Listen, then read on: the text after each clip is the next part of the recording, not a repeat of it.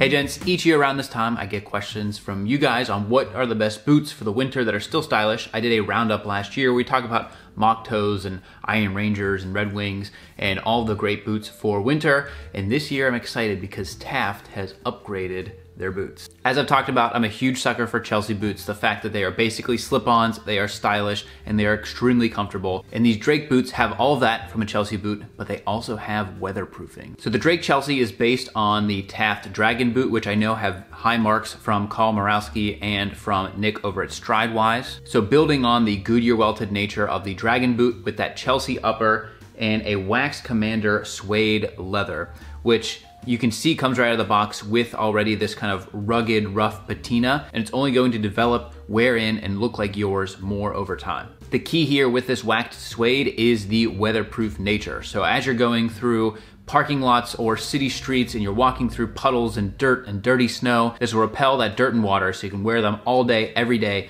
no matter what the conditions are. And it's really brought home by this tread. Look at the tread on these guys. The grip is great, it has plenty for traction, but it's also not too big in the lug. I've seen a couple of boots where the lug is just massive, and that's what makes these still sleek, and you still get that Spanish Portuguese heritage in the design of the boot because all of Taft's shoes Goodyear welted, made in Spain or Portugal, depending on if it's the sneaker or the boots. You also get that in the opening of the shoe. I've had a few other Chelsea boots where the opening around the ankle is just a little too big, but these are nice and snug around the legs, so you're not dealing with either bunching up of the jeans or walking in or out of them, and so that is a really nice thing too. Taft has certainly been around. I've talked about them a number of times on the channel, and so if these have any level of durability that my other Taft Chelsea boots have gone through, you're looking at years on these. And it's, it is the thing that reminds me, not just in the Chelsea boot nature, but it reminds me a lot of Blundstones, because these are shoes that because they're Goodyear welted, you can get them resold, have them recrafted.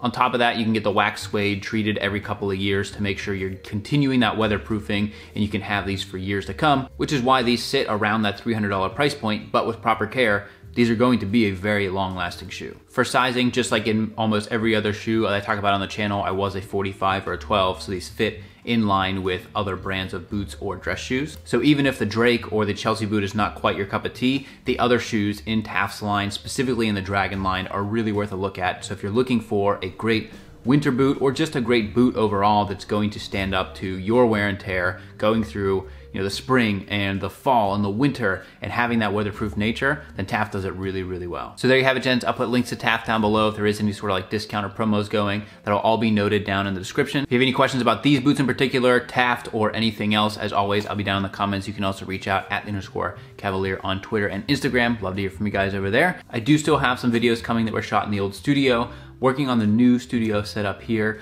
and so stay tuned for that. Thank you so much for your patience. Until next time, gents, this is the Kavalier.